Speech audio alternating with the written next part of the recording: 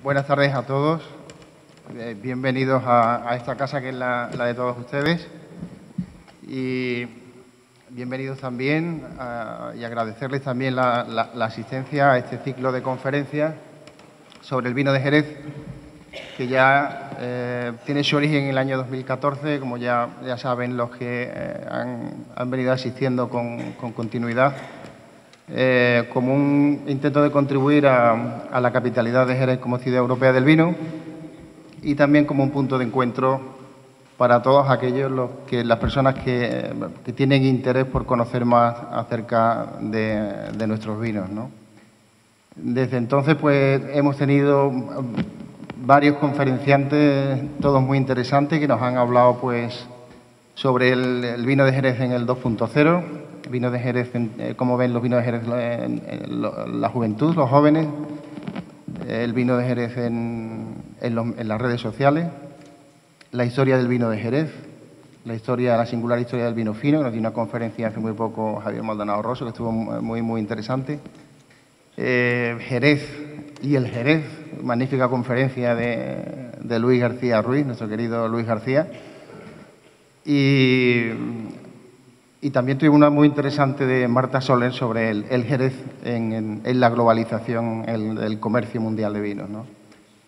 Nuestro invitado de hoy nos va a hablar sobre el futuro y el próximo día 16 de junio tendremos una conferencia de José Luis Jiménez que nos va a hablar sobre el Jerez en los tiempos de, Shakespeare.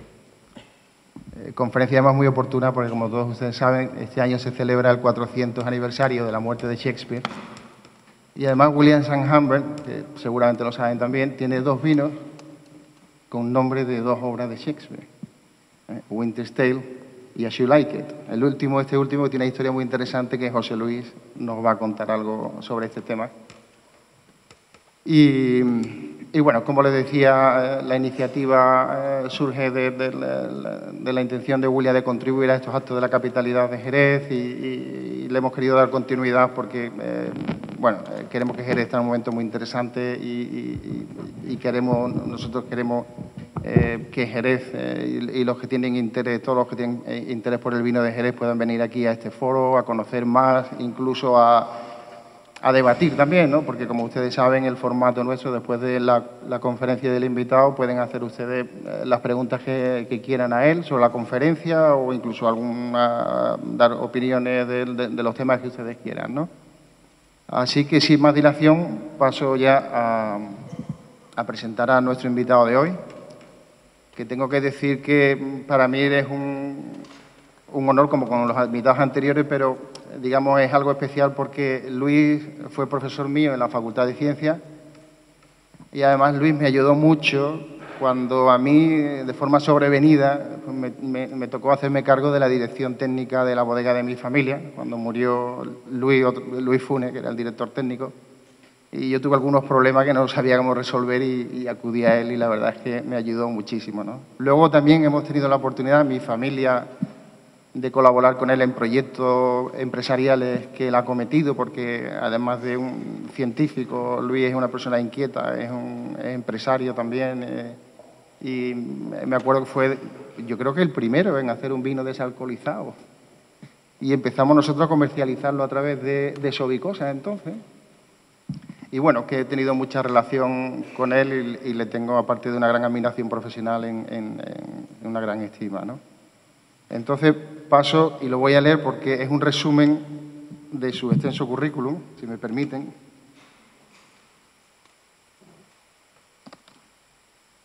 Luis Pérez cursa la licenciatura de Ciencias Químicas en la Universidad de Sevilla, en la que obtuvo su tesis de licenciatura sobre el brandy de Jerez, y en la misma universidad logra el grado de doctor defendiendo su tesis doctoral sobre la crianza y el envejecimiento de los vinos de Jerez, con la dirección del profesor, el doctor don Francisco Bravo Abad, y la tutela del profesor doctor Baldomero Íñigo Leal ambos del Instituto de Fermentaciones Industriales del Consejo Superior de Investigaciones Científicas de Madrid, en el que estuvo un periodo de estancia.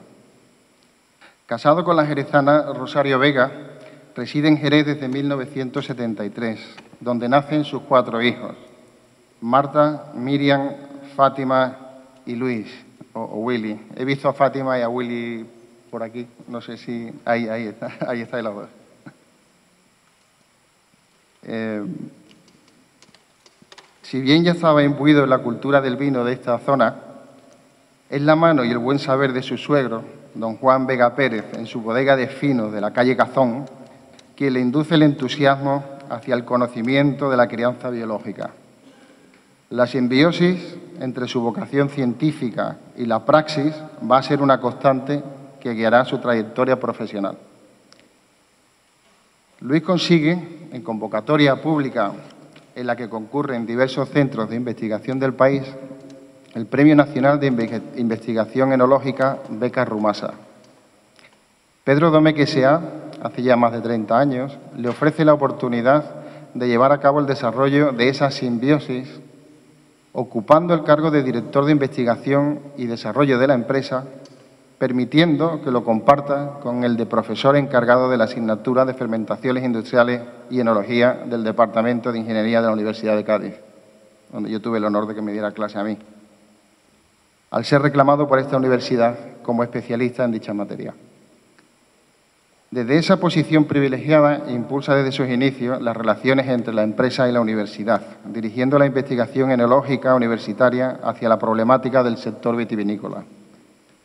Su dedicación en la empresa le posibilita un amplio campo de operación, ya por la diversidad de la temática y las zonas internacionales de donde opera, como por la oportunidad de impregnarse de la sabiduría de su gente, desde los viticultores, arrumbadores y trasegadores, en su diario diálogo con las cepas y los vinos, a los técnicos y señores del vino, como el profesor Emil Peinot y don José Ignacio Domecq. Su dedicación a la universidad le ofrece un escenario lleno de estímulo hacia la búsqueda del conocimiento, alentado por el continuo diálogo con, con los alumnos y colaboradores con los que lleva a cabo numerosos trabajos de investigación. Consigue en esta institución, por oposición, ser profesor titular de la Universidad de Ingeniería Química, así como también profesor titular de la Universidad en Tecnologías de Alimentos. En 1997 opta, tras 23 años de servicio, dejar su dedicación a la empresa privada y pasar a tiempo completo a la universidad, opositando y logrando la cátedra de Universidad en Tecnología de Alimentos, de la que es titular por la Universidad de Cádiz. En el año 2008 recibe de la Federación Española de la Asociación de Enólogos la medalla de oro al mérito en la investigación enológica. Luis es miembro de la Real Academia de Ciencias, Artes y Letras de San Dionisio de, Jerez. Son numerosas sus contribuciones científicas, pues es autor de más de un centenar de publicaciones en revistas, así como de libros de alto prestigio internacional y nacional director de una decena de tesis doctorales, ha integrado numerosas comisiones técnicas la Organización Internacional del Vino, el Ministerio de Agricultura, etcétera, y universitarias, siendo ha sido colaborador de la Estación Enológica y el Laboratorio Agroalimentario de Jerez, del Centro de Investigación y Formación Agraria del Rancho de la Merced, así como del Consejo Regulador de las Denominaciones de Origen de esta zona. Enólogo y profesor de licenciatura de enología, animado por el espíritu creativo y por el entusiasmo de los suyos, inicia en 2002 un proyecto familiar de recuperación y diversificación de la producción vitivinícola de la zona de Jerez. Y eh, esto es muy, muy resumido eh, la trayectoria tan impresionante de más de 40 años eh, de profesión de Luis. Luis hoy nos va a hablar, como he dicho antes, de, Jerez hacia el futuro. El título de la conferencia es El Jerez, una mirada hacia adelante. Y, como he dicho, se apoya en sus más de 40 años de experiencia pues, profesional como, como, como, científico, como empresario, como persona que está al pie de, las faenas, de la bodega, de la viña. Y, yo creo que hoy es un lujo poder contar con con Luis. No sé si nos contará todo lo que, bueno, todo lo que él sabe, seguro que no, porque no da tiempo, pero ya además porque es una persona eh, muy exquisita, entonces no sé yo si entrará. Eh, él, no es amigo de, las polémicas y él es más, Luis yo lo conozco, es una persona que le gusta predicar con el ejemplo más que con, con, las palabras, como así lo, lo, lo está haciendo. Yo creo que su conferencia viene en un momento muy, muy oportuno, porque creo que ahora mismo Jerez, yo creo que estarán todos de acuerdo conmigo, está ahí en los medios, parece que hay un resurgimiento, una cierta mm, moda, por lo menos mediática, ¿no? Eh, em, sobre el vino de Jerez. Eh, sobre un cierto tipo de vino de Jerez, el vino de Jerez de calidad. Y, bueno, yo el otro día eh, estaba con un grupo de, bodegueros que nos había convocado una persona que, bueno, porque hay interés en, hacer cosas en el marco y, aprovechar toda esta coyuntura para que no sea una moda pasajera y nos decía que estaba sentado con los líderes del sector.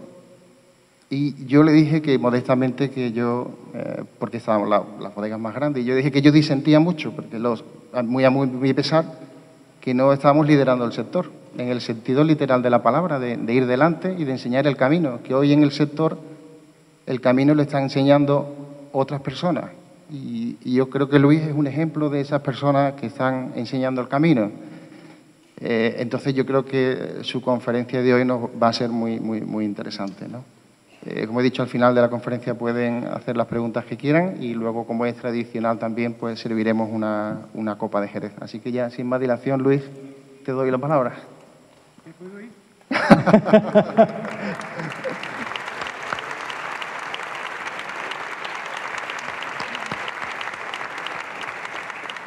Bueno, la verdad, muchas gracias Jesús. Yo cuando eh, escucho estas cosas que dicen sobre mí, creo que están hablando de otra persona, porque la verdad es la amistad, la verdadera causante. ¿Se me escucha bien o, con eco? Eh, como digo, que es la amistad la verdadera causante de estos elogios, probablemente eh, muy inmerecido. Lo único que de real estima es que sí, que llevo algo más de 40 años en este tema y con gran cariño y deciros que muchas gracias por esta invitación, Jesús. Muchas gracias a vosotros por vuestra asistencia. Porque la verdad empiezo a sentirme bien. Empiezo a sentirme entre los míos, entre las personas que son amantes del vino. Y eso es muy interesante porque cuando iniciamos este proyecto que decía antes Jesús, mi hijo, ya hace bastantes años, siendo casi un mozalbete, me dijo, papá, me encanta esta profesión, porque es una profesión que ayuda a tener amigos. Y eso es lo bueno que tiene el vino. ¿eh? y yo, evidentemente, pues me sentí emocionado, lo mismo que ahora me emociono al ver que realmente en vosotros un plantel impresionante de grandes amigos. Bueno, pues la verdad es que yo no quería meterme en este tema, no quería asumir este compromiso, pero precisamente el gran débito que le tengo al Jerez, porque siempre me ha tratado en una posición mm, muy eh, privilegiada, que no me he podido negar a este, a este encuentro. Así que, aun sabiéndolo que, que iba a claudicar, mi resistencia fue relativamente poca. Pero en fin, ya estoy aquí. Realmente, cuando eh, me propuse establecer el guion de esta charla, de este comentario, de esta disertación, lo que queréis llamarlo, de esta conferencia ya un poquito más sofisticada, de más altura, de más nivel, estoy en una posición incómoda, os veo demasiado bajo. Y no me gusta eh, solemnizar ni mis palabras con mi presencia en las alturas. No sé si bajarme a vuestro nivel, me sentiría mucho más cómodo, pero en fin. ¿Puedo? Lo malo es que me, alejo de mis apuntes, me alejo de la conferencia y... no, no, y esto puede salir como el, rosario de la aurora, más o menos. ¿eh? Pues bueno, estoy aquí. Pues entonces lo que sé, lo que hago con esto, eh, don Jacinto. La verdad es que cuando eh, intenté peregrinar, como dirían algunos de mis amigos, o darle estructura a esta charla que quería tener con ustedes, eh, me fijé y quise desarrollarla a través de una, a través de una frase que en las frecuentes conversaciones que tengo con mis hijos, y en este caso con mi hijo Willy, acerca del vino, me refirió y que a su vez había eh, captado de un escrito de Luis Gutiérrez. Y la frase más o menos decía así, en crisis, las zonas vitivinícolas de larga historia tienen mucho más favorecido o están en gran ventaja frente a aquellas otras zonas de más reciente creación, porque pueden mirar atrás, pueden analizarla y salir con más facilidad de ella. Y esto me animó a estructurar esta comunicación en base a ese pensamiento, a ese enorme patrimonio que tiene Jerez, porque mira que tiene historia Jerez. Y ya una vez que prácticamente la tenía acabada, la observé y no me sentí satisfecho, porque mm, quería dirigirla más hacia adelante, no quería volver tanto la cabeza atrás. Yo creo que hemos usado en demasía el argumento de lo que teníamos que haber hecho y no se hizo. Que eso realmente, aparte de mm, darnos seguridad en pronosticar o dar un pronóstico de lo que ya ha sucedido, poco más puede aportar. Por otra parte, somos propensos a congraciarnos, a complacernos, cuando rememoramos épocas gloriosas nuestras con la vana esperanza de hacerla presente. Eso eh, constituye o nos conduce a un inmovilismo que supone una carga muy pesada ante cualquier tipo de movimiento hacia el futuro. Así pues, en cierta forma, eh, no voy a hablar del futuro porque no me he traído muy bolita de cristal y la botella esta si la vuelco se me vacía, pero realmente eh, habría que preguntarse más bien que ya es hora de pensar en qué debemos hacer que en cómo debíamos de haberlo hecho. Y esto realmente comporta un reto. Y un reto comporta un riesgo. Y un riesgo se asume por dos causas, por necesidad o por pasión. Mire, amigo, no nos queda más remedio que asumir este reto con pasión. Y aquí podría terminar mi charla, porque nada más fuera de este contexto, de este centralismo que estoy haciendo, de esta reducción, voy a deciros. Pero bueno, por formalidad y porque causaría cierta sorpresa, voy a permanecer sentado y continuar hablando. ¿eh? Pero no creo, algunos de vosotros me diréis, Luis, tenías toda la razón, nos podría haber dejado más tiempo para rodar nuestras copas, porque ya a partir de ahí nada más eso. Bueno, pues fijaros, ah, esto se pasa solo, esto se pasa solo, ¿dónde está Jacinto? no, no, no, no hace falta, está bien, está bien. Bueno, pues resulta que cuando me hice esta consideración, y no ahora, sino bastantes años atrás, cuando quise otear el horizonte para mirar dónde dirigir a Jerez, me encontré con una dificultad que ya la tenía prevista, y la mayor dificultad que encontré fue la altura de los muros de su bodega. Esta frase que os puede desconcertar, evidentemente, está en un sentido metafórico y que exige de mí ciertas explicaciones. Y para explicarme, como ya no voy a hablar de lo que aprendí, sino de lo que sé, que ya no sé nada, pues resulta que voy a contar una de tantas múltiples anécdotas, uno de tantos episodios que mi vida profesional pues, mm, ha tenido la gratitud, evidentemente, de ponerme por delante y asumirla. Y fue un episodio que sucedió en la postrimería de la década de los 70 del siglo pasado, cuando mi gran amigo Jaime Conde Zurita, microbiólogo, insigne microbiólogo, Manolo recordará algo de eso, no sé, Manolo, que está, me hizo una pregunta. Y la pregunta fue la siguiente. Por cierto, Luis, ¿habéis observado una distribución poblacional de la flora o de las especies de levadura que pueblan o forman nuestros velos de flor en los oleajes de finos o manzanillas, que sean diferentes, ¿la habéis caracterizado si son las mismas o hay diferencia de una escala a otra? Y yo le tuve que responder no y no lo sé. Pero intentaré darte respuesta a dicha pregunta. La pregunta en síntesis, por si alguno no me lo ha cogido bien, era que si realmente la proporción de levadura de las distintas especies de levadura que había en una tercera o en una criadera muy joven coincidía con la misma proporción de esas mismas especies en la soledad más o en la escala más hacia adelante. Bueno, con ese motivo emprendimos una búsqueda, un trabajo sumamente intenso de caracterización de bastantes solerajes situados en núcleos de bodega, citos en Jerez, en San Lucas de Barrameda, en el puerto de Santa María, acumulando datos, conocimientos, y observamos que si bien en algunos solerajes se mantenía prácticamente la misma población en todas sus escalas, en todos sus niveles, en todas sus criaderas de solera, en otro y en un número muy significativo, resultaba que no, que si bien en las escalas más jóvenes dominaba o estaban dominadas por una levadura eh, cuando avanzábamos en la escala siguiente, iba perdiendo presencia, dominando entonces en esa escala más vieja otro tipo, otra serie, otra especie de levadura.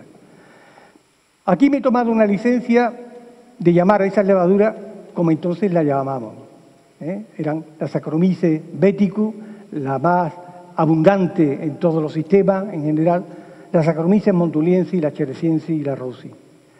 Y digo que me resisto a cambiarles de nombre porque para mí tienen unos nombres tremendamente evocadores. Pero a partir de que la genética se incorporó a la taxonomía, que es la ciencia de la clasificación, todo esto ha cambiado. Y hay incluso algunas que ni siquiera responden al mismo género. Pero yo seguiré llamándola siempre que me refiera a ella con estos mismos nombres. Y yo creo que eh, muchos de nosotros están habituados a este tipo de nomenclatura.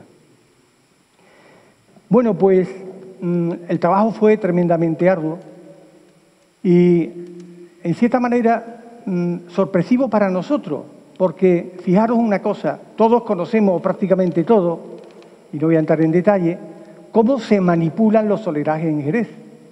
Se extrae el vino de las escalas más antiguas, más viejas, y se reponen con vinos procedentes de escalas que le siguen en orden inverso a su vejez, más jóvenes. Bien, pero cuando hacemos transferencia, cuando hacemos un traspaso de un vino de una escala a otra, no solo, sobre todo cuando son vinos de solerajes, de finos o manzanilla, que están sometidos a esa crianza biológica, no solo traspasamos el vino, sino que hay una parte importante de levadura que también acompañan a este vino. Y no es lógico, desde el punto de vista en que tras muchísimos trasiegos de escala, esas levaduras que constantemente estamos incorporando en las escalas más viejas, más envejecidas, no terminarán por dominar el sistema. La verdad, como en muchos casos en la vida, nos ponemos en lo peor, en la hipótesis más inquietante. Y nos surge la intranquilidad de pensar, caray, hemos cogido esto cuando, en un momento determinado, estamos introduciendo una especie invasiva que podría ser la Saccharomyces beticus, que está desplazando a las verdaderas levaduras de velo, la que da sustancialidad, característica a nuestros vinos, en base a alguna modificación que hayamos hecho. Vamos a perder la característica de nuestro vino porque entonces no conocíamos muy bien el metabolismo específico, el comportamiento de estas levaduras. ¿Vamos a perder las características de nuestro vino por algo que hemos hecho sin saberlo? Entenderéis que es para inquietarse. Y entenderéis que fue una motivación para llegar a lo más profundo del diálogo con el sistema. Voy a decir en esta noche o en esta tarde muchas veces la palabra diálogo, palabra lenguaje, palabra encuentro, porque eso es lo que hacemos normalmente en nuestra profesión. Bueno, pues fijaros, eh, además alentado, o se alentaba esta hipótesis porque en años precedentes, no pocos años hacia atrás, Debido a la eclosión del viñedo en el marco del Jerez, con esa multiplicación de sus hectáreas, se intensificó muchísimo los tratamientos antifúngicos al objeto de controlar lo que es el oidio, el milio, todas esas plagas de carácter fúngico y sobre todo a esa creciente y devastadora botritis o perlumbre del racimo.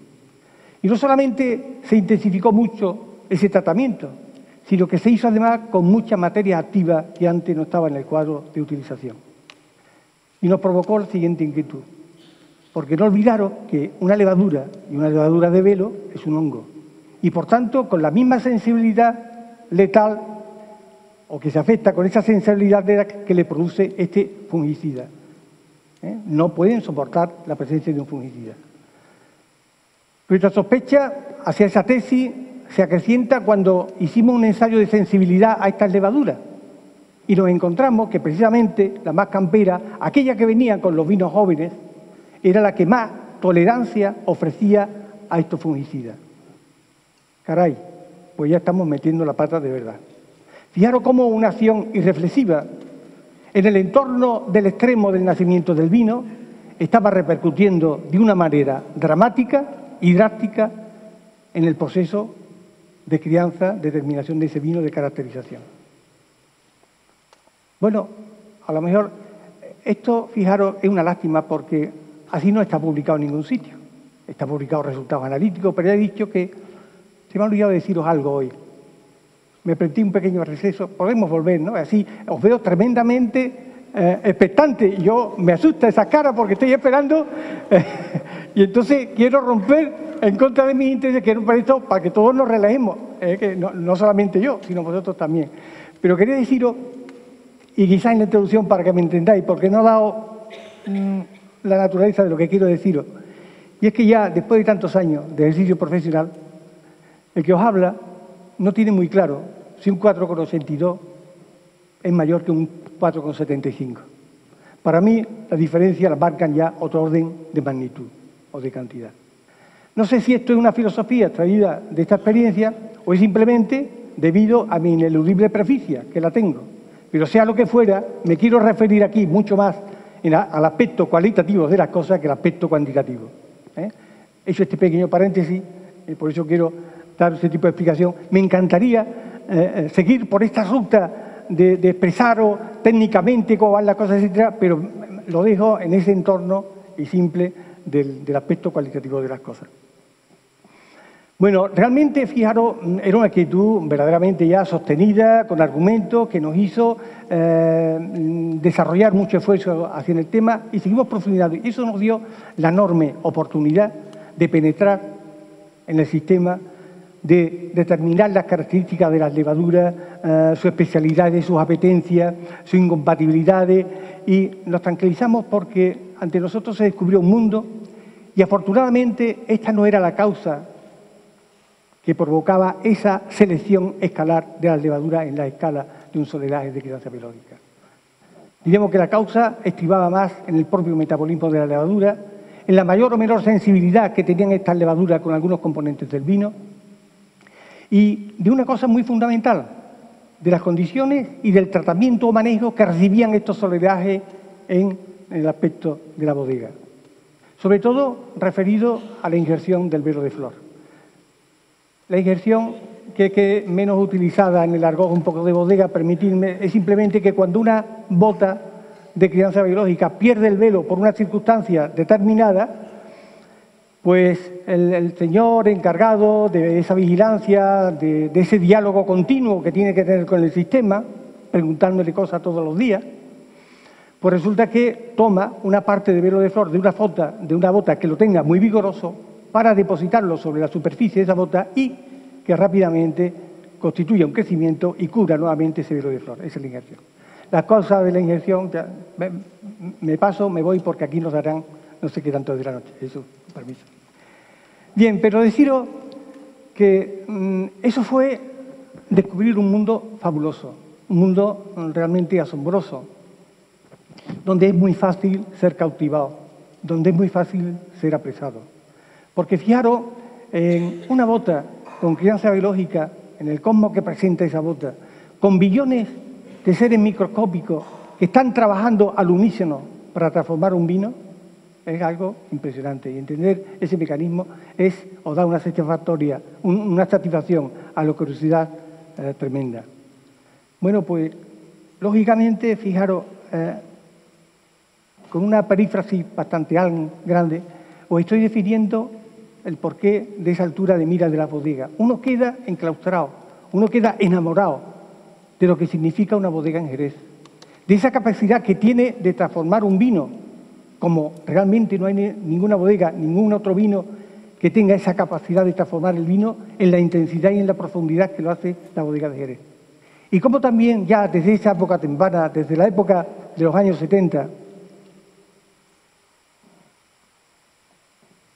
comprendí perfectamente que el Jerez estaba encadenado, que estaba dependiente y que cualquier alteración, por nimia que fuera, en uno de sus sistemas, en uno de sus extremos, repercutía o podía repercutir de una manera drástica o dramática en otro. Bueno, pues fijaros, mm, he hablado de lenguaje, he hablado de comunicación. ¿Qué es lo que hacemos realmente los que trabajamos con los elementos de las bodegas, con los elementos de las viñas? Mm, estamos continuamente, el Señor que va viendo y va catando los vinos, le está preguntando, está dialogando con las botas, por qué está seca, por su color, por su aroma, va definiendo qué es lo que le sucede y le va respondiendo, y ese lenguaje. Y ese lenguaje lo podemos hacer con un conocimiento empírico o lo podemos hacer con un conocimiento científico. Y con el conocimiento científico podemos tener una aplicación científica que nos derivaría en un desarrollo tecnológico. Eh, y aquí realmente eh, paro un poquito para haceros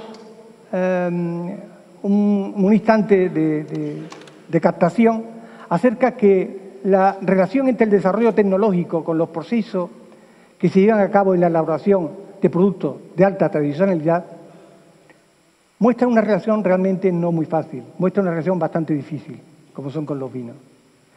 Hay eh, en el criterio de muchas personas, o en muchas personas, hay el criterio de que cuanto más se aplica un vino conocimiento científico, cuanto más se aplica un vino desarrollo tecnológico, más lo apartamos de su carácter natural. Miren, ya he dicho en más de una ocasión, el vino no es un producto natural. El vino no surge de una manera espontánea en la naturaleza. La naturaleza no puede hacer vino sin la cooperación o el contacto con el hombre. Por contra, el hombre tampoco puede hacer vino sin esa relación o sin contar con la naturaleza. ¿De acuerdo? Y eso es así. No le demos más vuelta. El vino es un producto cultural y por ello marca ese elemento simbólico. Y el conocimiento científico nos da la capacidad o la oportunidad de tener un lenguaje más intimista con el sistema. Yo puedo tener el lenguaje de la vista, el lenguaje del oído, el lenguaje del olfato, pero puedo también refrendarlo con la medición analítica, con la intromisión de aparatos mucho más sensibles que me identifican y que me intiman mucho más con el sistema y conocer más su susceptibilidad y su naturaleza. Bien, no quiero deciros que siempre hemos utilizado este desarrollo tecnológico para encauzarnos en la ruta de contacto o de confluencia con la naturaleza. Algunas veces, y más que algunas, hemos desarrollado esta, eh, perdón por la redundancia, hemos aplicado este desarrollo tecnológico únicamente con fines mercantilistas y en esos casos se han producido efectos desastrosos en la, cantidad, en la calidad y en la personalidad de los vinos. Pero en absoluto, en absoluto el conocimiento y en absoluto el poner a disposición de los sistemas todos nuestros recursos significa desnaturalizar mucho menos al vino, al contrario, acercarnos con sutileza a su naturaleza. Aprendí hace mucho tiempo, y lo aprendí también de esos sabios y viejos viticultores, que cuando para llevar a cabo un objetivo, cuando para intentar alcanzar algo hay que forzar mucho a la naturaleza, algo estábamos haciéndolo mal o algo, o mucho más que algo, nos estábamos equivocando. Hay que confluir con la naturaleza y hay que manejar la naturaleza con suma sutileza, nunca con cambios drásticos, ¿eh? porque eso evidentemente nos confiere, eso sí que nos confiere la garantía de obtener productos de calidad, productos con personalidad y productos netamente cercanos a la naturaleza. Bien, Así pues, tenemos que jugar en ese equilibrio, en eso que decían, nos sentimos combinados a entenderlo con la naturaleza y tenemos que jugar ahí. Pero eso, ya para refrendar un poco el sentido de mis palabras, eso, me estorbaban la altura de los muros de las bodegas, ¿verdad? Parece un poco duro, parece un poco desconcertante, quiero que lo vaya entendiendo. Pero eso realmente no era a mí, realmente mm, es a todos. A todos nos apabulla, a todos nos asombra, a todos nos enamora, a todos nos cautiva lo que tenemos aquí delante. Y eso ha producido una dicotomía que no existe prácticamente en ninguna zona del mundo entre el viñedo que origen a nuestro vino y las bodegas donde se cría. Yo no he visto una separación tan inmensa entre ambos mundos. Y quizá, como os digo, el razonamiento esté en esa argumentación que os acabo de decir. Es necesario ¿eh? es necesario ir rompiendo, ir eliminando esa enorme dicotomía. Bueno, y con ese sentimiento de que esto es una maravilla, de que hay que ver en qué región vitivinícola del mundo existe el volumen que tienen las bodegas de Jerez, de Vos y Bors. ¿Dónde existe eso? ¿Dónde existe un volumen significativo de vinos de 30 años? ¿Dónde está ese volumen? Bueno, y uno se plantea, pero bueno, ¿yo qué puedo hacer? ¿Qué más se puede hacer? ¿Cómo se puede valorar esto más? ¿Qué es lo que nos pasa? ¿Qué es lo que está faltando valor? ¿Qué es lo que nos pasa aquí? Bueno, pues miren, la realidad del Jerez incluye un patrimonio independientemente ya del que establece los muros, las edificaciones de su bodega. Incluye además un patrimonio de mucha más persistencia, que durante ha estado con nosotros 3.000 años y no los 200 o 200 y algo que han estado en la bodega. Y que realmente vislumbró y deslumbró al visitante fenicio que lo cautivó, terminó por cautivándolo, y es la tierra, la tierra de viña, la albariza. Esa tierra de origen biológico que emergió del mar hace unos 30 millones de años. Bueno, mm, realmente eso está ahí, ya ha estado, ha estado un poco postergada. ¿eh? Y, sin embargo, fijaros lo que significa y lo que significa hoy día para el lenguaje de los vinos. Esa tierra además que ha sido el escenario donde se ha criado y se ha producido unos vinos que siempre han sido el icono económico y el icono cultural de esta zona.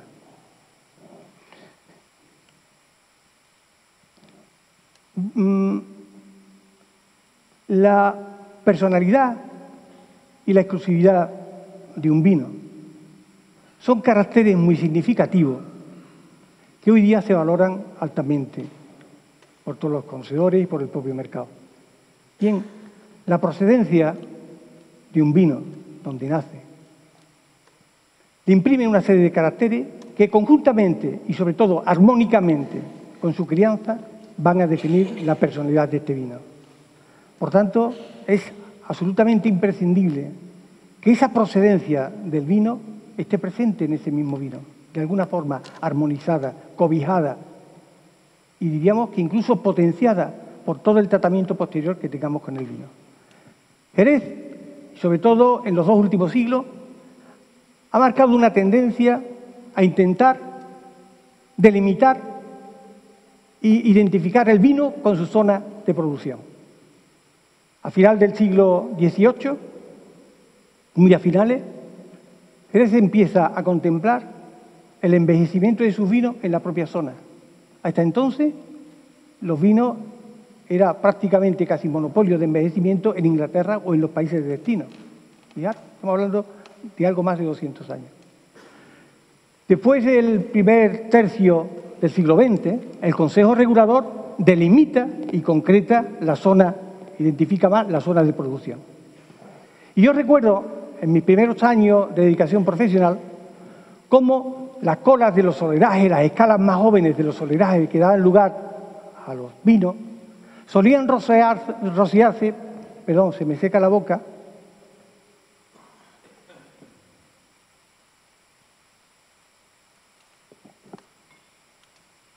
Yo estoy hablando de lo que me gusta.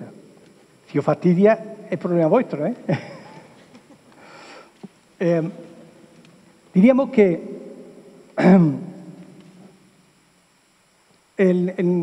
cuando yo empecé, diríamos, a mi ejercicio profesional, era muy normal eso. Que los vinos que venían a reponer las últimas criaderas, las colas, eh, que daba origen a los solerajes, procedieran prácticamente o exclusivamente de un pago. Incluso había solerajes que exclusivamente se alimentaban, se rociaban de una finca. Bueno, como apunte, hoy día hay un carácter mucho más diluido en ese concepto. Hoy hay una mezcolanza, una estandarización de esa materia prima y ya no tenemos ese grado de discriminar, sino que entra en la solera, salvo, evidentemente, siempre insignes excepciones que se marcan, afortunadamente, algunos vinos. ¿eh? No es una tónica general, pero realmente hay eh, una relajación en ese sentido bastante alta. Y esto yo lo veo realmente como una, eh, un paso atrás de esa tendencia que marcaba Jerez con la ubicación de sus terrenos, con la identificación donde el vino se producía, que se ha realizado en las últimas décadas, pues hace 30 o 40 años hacia acá. Bien, eh, a la par, ya que estoy aquí, pues dice Jesús, a ver, es que le gusta mucho la polémica, le gusta mucho el enfrentamiento y tal, y yo creo que no, que tú dices lo que piensas de una manera más o menos, pero en fin, ya, ya que estamos aquí, por la turno a ver al rey, como diría mi amigo Pepe. Pero realmente esta, esta tendencia de modificación en la materia prima, eh, lo ha generalizado a otros comportamientos, sobre todo a eso que os decía de esa aplicación del desarrollo tecnológico, eh, que basándolo en una eliminación o disminución de coste, pretendida disminución. Eh, yo soy de los convencidos que creo que hacer las cosas bien cuesta menos que hacerlas mal, sinceramente. Pero en fin, hay a veces eh, elementos que nos deslumbran y los lanzamos por un camino y después realmente nos, pesa muchísimo haber dado ese pie hacia adelante. Bueno, pues quiero deciros que esto también se ha manifestado en algunos aspectos de eh, elaboración de los vinos. Y salgo a colación ejemplos específicos que no me gustan, pero recuerdo que quizás aprovechando el hueco mm, del mercado, el éxito de mercado que tuvieron las manzanillas en el mercado nacional, etc., el vino buscó cierta similitud y semejanza y los finos se amanzanillaron. Bueno, esto no, no, significa nada, esto es un cambio de estilo, una tendencia que ha marcado, ¿eh? entonces ahí se pierde ese contexto de de, individualidad y esa diferencia de fino y manzanilla se empieza a perder. Pero lo malo, al fin y al cabo, no es ese cambio de tendencia. Lo malo es que para exagerar esas peculiaridades de que por sí tenía que tener el vino, por esa relación, por ese contacto con la naturaleza, se exageran a base de prácticas eh, exhaustivas, prácticas de clarificación que llevan tendencia a mostrarle al consumidor que aquello es más fino, que aquello está más criado, que aquello es más ligero y se hace de una manera violenta, como antes os decía, operando con la naturaleza, y nos lleva verdaderamente, para mí y en mi criterio, por favor, a situaciones verdaderamente desastrosas. ¿eh? Y va incongruentemente, nos lleva a unos vinos que soportan mucho peor la conservación en botella, porque cuando aquello no se consume hay que tirarlo. ¿eh? Afortunadamente, y sigue siendo mi criterio, en los últimos tiempos ha surgido esos vinos llamados vinos en rama, manzanilla. Esos vinos a los que no se le a los que no se les someten a ninguna práctica de clarificación. A esos vinos que aún conservan una gran parte de sus atributos, de su personalidad. Y fijaros, con una consecuencia, estos vinos en rama se cotizan más caros que los vinos que están tratados. Cuando paradójicamente, bueno, señal de que se le otorga más calidad. Cuando paradójicamente cuestan menos hacerlo porque no hay que operar con ello, con esos tratamientos de su tipo ¿eh? Bueno, esto para mostrar un poco mm, eh, eh, que tenemos que reconsiderar y replantear las cosas hacia ese sentido. Bien, mm, ya he puesto un ejemplo que ha ido para un lado y que ha ido para otro, y yo creo que mm, casi me he expresado el sentido donde quiero ir las cosas.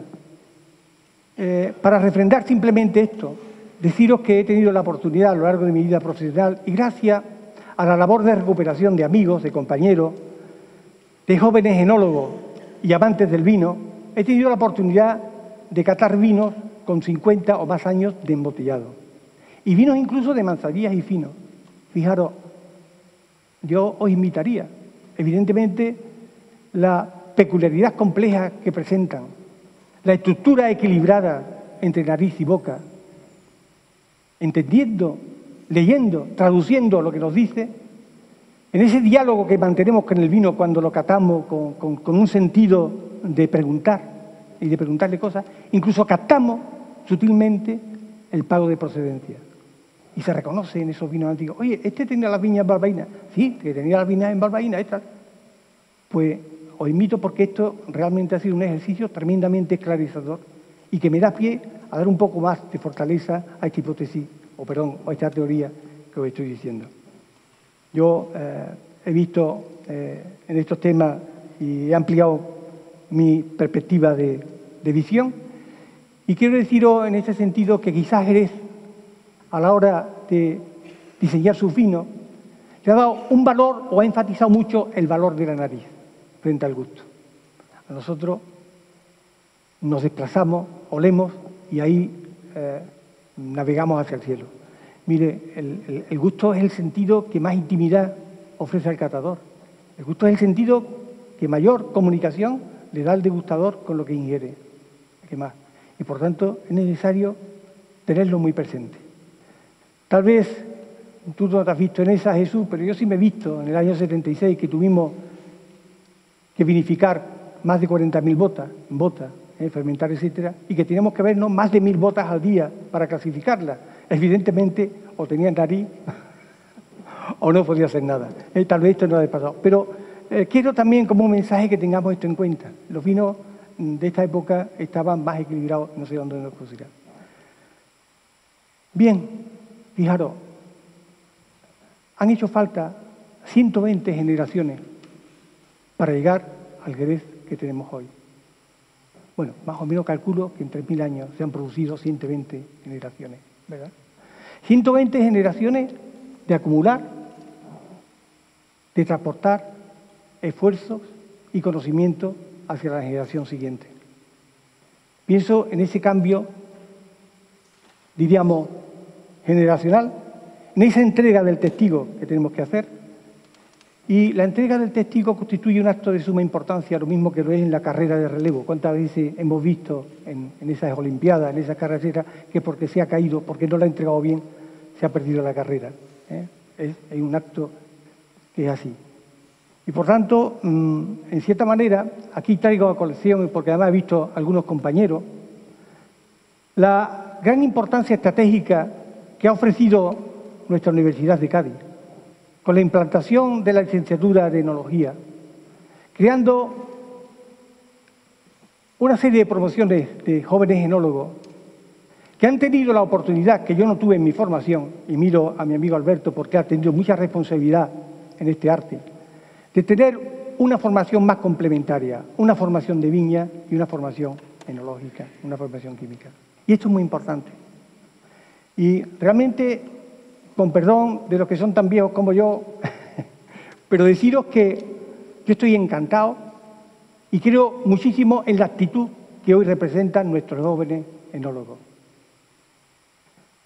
Eh, y bueno, mm, la verdad es que tenéis que excusar esta perífrasis, mira que da vuelta. ¿eh? Y todo para decirlo, pero quiero dejar claro. Y yo creo que esa mirada hacia adelante nos conduce a que el Jerez tiene que restaurar en su naturaleza y concepto más carácter telúrico, más carácter de su tierra. Es que se cambia solo. Bien, quiero deciros en esto que Jerez fue pionero en la catalogación de pagos de su, de su, de su zona. Fue pionero prácticamente en el mundo en esto desde tiempo prácticamente de los romanos. Me comentaba mi hijo Willy que el nombre de Balbaína quizás fuera proveniente de la familia Balbo, que eran las eh, grandes familias romanas que exportaban los vinos a Roma y tal, y de ahí en el, en de viña ¿eh? se iban nomenclaturando los vinos, etcétera. Fijaros. Y como decía antes, la personalidad y la exclusividad de un vino marcan esos caracteres que hoy día tienen una enorme aceptación y un enorme valor en los vinos. ¿eh?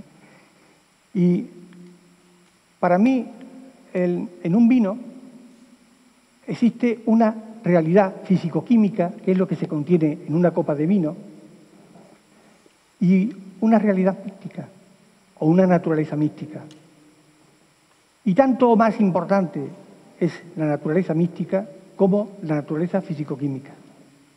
Fijaros, yo no creo que haya nadie que dude que hoy día nosotros podríamos elaborar una bebida tanto o más sana que el vino, tanto o más adaptada a un gusto global de la humanidad, pero lo que no podríamos hacer es darle la liturgia y podríamos darle, diríamos, el poder evocador que posee un vino.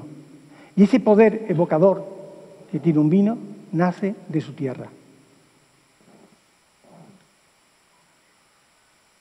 Estamos en una posición tremendamente favorable hoy día en la zona del Jerez, con unas 7.000 hectáreas de viñedo, para aspirar a los mayores niveles o a los niveles máximos de calidad en la elaboración de nuestros vinos.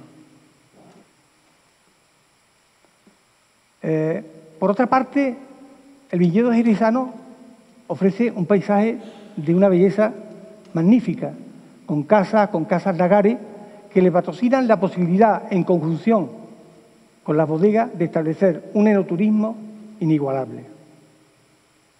Bueno, gracias al esfuerzo de muchos y de muchas generaciones, hoy sabemos Y podemos hacer que la uva refleje, con el cultivar del viñedo, refleje todas las características, se vendimie a la sazón y sabemos operar con ella y sabemos operar con ella para transformarla en un vino lleno de personalidad, de exclusividad, etc. Fijaros, eh, el marco, como antes os decía, tan limitado, no significa que no haya una diversidad tremendamente patente en él, porque desde el litoral gaditano a escasísimas decenas de kilómetros hacia adentro, se producen una variación tan importante en los distintos pagos que influyen grandemente en la naturaleza de su uva, la caracteriza. Es una condición magnífica para establecer esa zonificación, esa catalogación, pero no con un criterio maniqueo, que esto es lo bueno y esto es lo malo y esto es lo menos bueno. No. Aquí lo que importa es el criterio diferencial. El criterio que yo sepa que con, las características de mi tierra, de mi cultivo, qué cosas tengo que hacer, cómo tengo que transformar, de qué modo tengo que operar para poder engrandecer mediante el equilibrio con la crianza, mientras salga la personalidad de mi vino. Y esa personalidad la jugará dentro de unos cánones generales, la jugará el consumidor. Dará esa posibilidad. Es decir, escribe de una manera tremendamente eh, magnífica para establecer esto. ¿Sabemos cómo hacerlo? Como decía aquel, sé lo que tengo que hacer, sé cómo hacerlo, pero no sé cómo va a quedar. Pues, pues una cosa parecida. Sabemos cómo hacerlo, tenemos a nuestra gente y fijaros también, diríamos, proveniente del viñedo.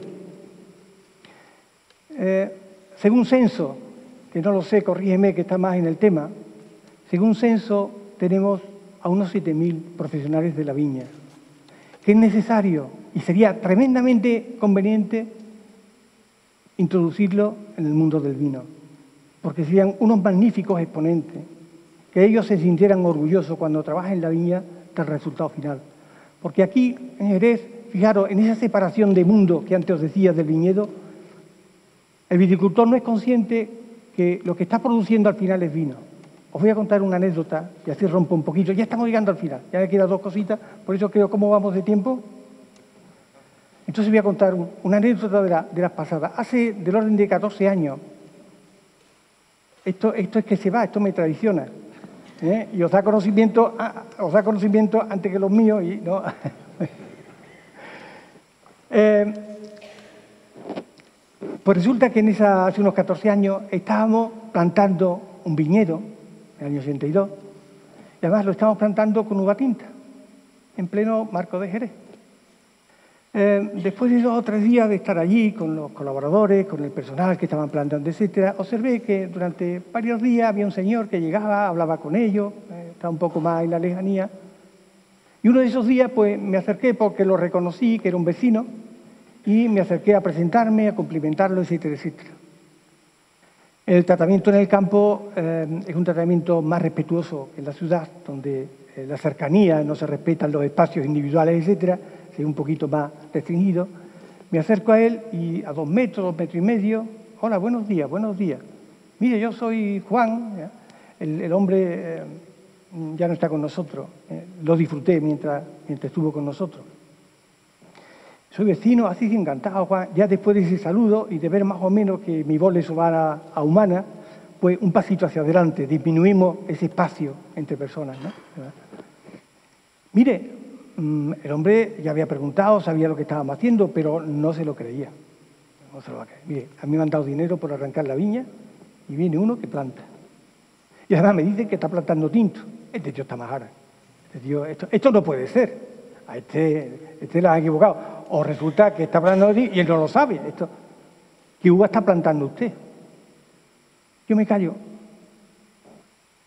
Y tardo dos segundos en contestar, le digo, no, Juan, perdone, yo no estoy plantando uva. El hombre inmediatamente recupera su espacio y dice, no, hombre, Mahara no está, este está loco de atar, lo estoy viendo, esto como es. Vuelvo a estar otros dos segundos en silencio y digo, Juan, yo estoy plantando vino. Ese es el concepto, y eso os lo digo, que, es una frase que pronuncié y además improvisé, me salió en ese diálogo. ¿eh? Ese es el concepto que tenemos que retornar en Jerez. Saber que cuando plantamos una viña estamos plantando vino.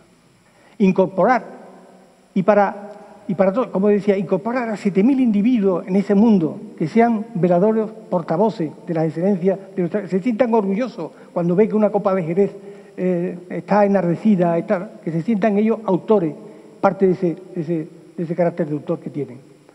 Pero para hacer eso es necesario que el viticultor sea más enólogo y que el enólogo sea más viticultor. Por eso me congratula mucho de esa formación que la Universidad de Cádiz le está dando a estos nuevos enólogos. Y para mí, de verdad, me produce un sentimiento de legítimo orgullo. ¿eh? Y, y, creo que así lo daré afecto durante toda mi vida. Bueno, pues llegar a este punto, simplemente dar una pequeña referencia, que como todo me imagino que sabéis, y además ya lo ha dicho Jesús, Hace ya algunos años emprendimos un empréstito familiar, emprendimos una cruzada, una aventura. Y, ahora, pues, capitaneado por mis hijos, y fundamentalmente Willy en este sentido, desde el punto de vista enológico, estamos intentando poner en práctica el modo de hacer que os acabo de describir. Nada más. ¿eh? Y mm, la verdad es que cada vez que cojo una copa de vino, se murió. Y veo su interior. Siempre me gusta definirlo y lo siento, como que lo que hay dentro de esa copa es fruto de la luz y el calor de nuestro sol, del agua de nuestra lluvia, de la naturaleza de nuestro suelo del esfuerzo, el trabajo, del conocimiento y del cariño de nuestra gente. Y nuestra gente aquí no se limita exclusivamente a la gente de bodega ni a la gente de las viñas. Nuestra gente es nuestra gente, nuestro pueblo. Porque fijaros, quien realmente le da esa naturaleza mística, ese poder evocador que tiene un vino, son su gente. Quien lo hace y lo otorga el icono de la cultura de su cultura es el pueblo. En eso aplaudo tremendamente la gestión que hace el Consejo Regulador de unos años hacia acá, por esos esfuerzos de divulgar la cultura, de hacer partícipe a nuestra gente de esa cultura, de ese patrimonio que nos pertenece a todos. Esta foto para mí tiene un gran sentido emocional porque llevo a mi nieto en hombro y mi nieto tiene, teniendo en cuenta que hemos plantado el viñedo con cepa injertada, la misma edad que esa cepa. Y quiero que en él perdure, malaje tiene esto, y quiero que en él perdure ese recuerdo en su memoria. Y quiero que también la tierra recuerde la memoria de todos nosotros. He dicho, muchas gracias.